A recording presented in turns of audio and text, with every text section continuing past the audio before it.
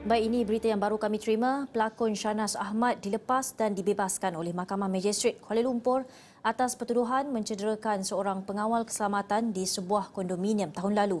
Pada 2 Mei lalu, Shanas atau nama sebenarnya Shanas Ahmad Basir Ahmad mengemukakan representasi untuk menggugurkan pertuduhan menumbuk seorang pengawal keselamatan yang juga penghuni di sebuah kondominium.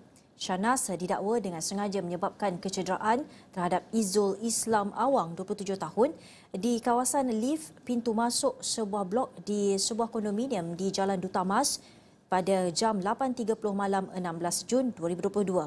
Shanas dituduh mengikut Seksyen 323 Kanun Keseksaan yang memperuntukkan hukuman penjara sehingga setahun atau denda maksimum RM2,000 atau kedua-duanya jika sabit kesalahan.